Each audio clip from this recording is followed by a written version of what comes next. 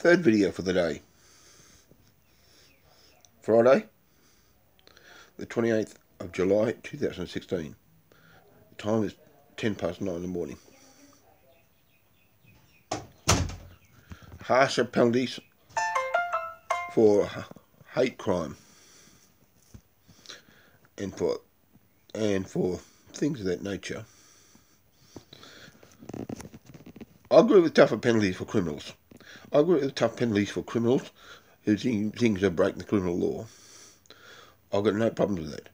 A real racist person shouldn't be charged under any vilification law. That's not a thing to charge them under.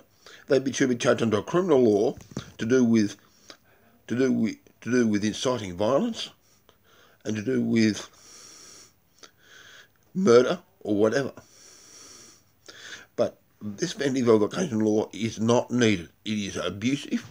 It's abused, and the, and is not beyond reasonable doubt. It's on the balance of probabilities, and it's not a court that decides it's a tribunal.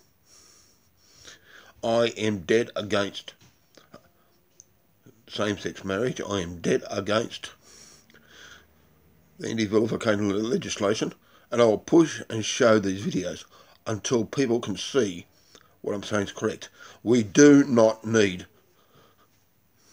hate crime legislation. We need to be very, very careful of it. Yes, real hate crime is criminal. They should be charged under criminal offence, not a civil offence. Thank you very much and bye for, bye for now.